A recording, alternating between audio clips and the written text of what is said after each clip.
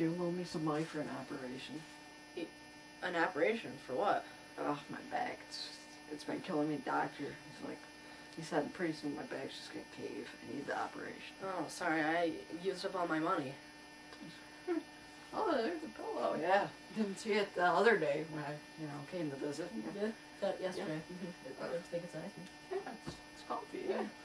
I can see myself sitting in it. Seems seems seems kind of expensive though. Got me a bundle. Mm-hmm. Yeah. Yeah. Okay. Yeah. Comfort over friends life, I guess. You know. I mean, Yeah. comfort comes first. So, you know, what'd you do if I took this pillow and ripped it in half? Oh, You yeah. Mhm. Oh, look. Now I got two pillows. Yay! They're less comfy, though. I'll kill you with your own shame.